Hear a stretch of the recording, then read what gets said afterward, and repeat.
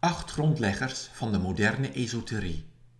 Een gedeelte uit de symposiumbundel Op vleugels van vuur uit het jaar 2013.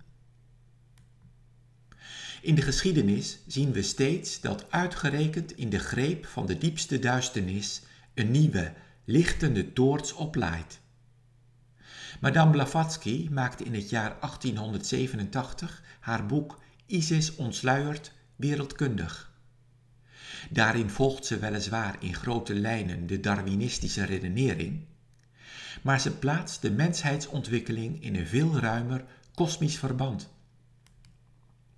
Ze vestigt de aandacht van haar lezers aan de hand van de nieuwste ontwikkelingen op het vlak van elektromagnetisme en atoomwetenschap, voorbij de stoffelijke verschijning op hun fijnere lichamen, etherische, astrale en mentale. Tegelijk geeft ze aan hoe de mens geroepen is zijn geestelijke, vurige essentie opnieuw te ontdekken. Ze spreekt in dat verband van de werkzaamheid van de vuureter, die voor de mens een brug slaat naar de monade, om op een lange ontwikkelingsweg de goddelijke zielenvonk te kunnen bevrijden uit de tentakels van de stof.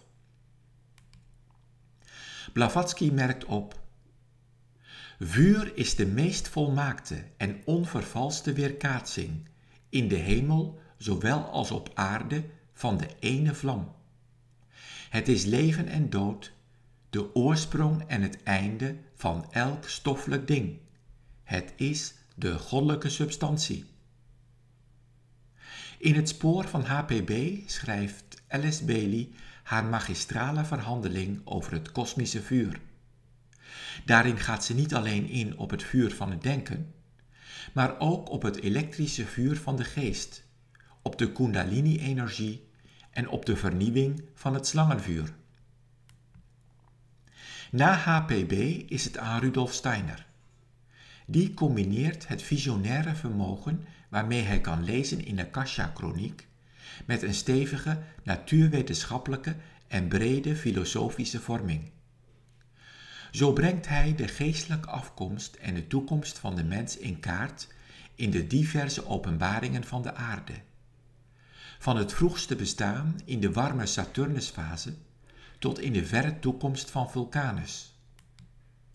Steiner trekt zijn antroposofisch mensbeeld door op tal van gebieden van de samenleving, van landbouw en geneeskunde tot kunst en architectuur. Zijn invloed op tal van creatieve denkers en kunstenaars in de eerste helft van de 20e eeuw mag, zeker in Nederland, niet worden onderschat. Dat strookt met zijn inspanningen om de menselijke ik-persoonlijkheid en haar omgeving, zowel cultureel als spiritueel, te verheffen. In deze rij hoort naast Spencer Lewis ook Max Heindel thuis.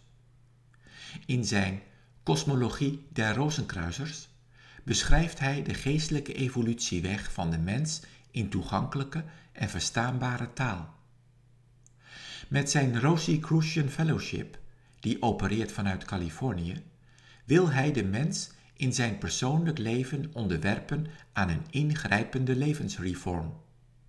Zijn motto is: een gezond lichaam, een liefdevol hart en een helder verstand.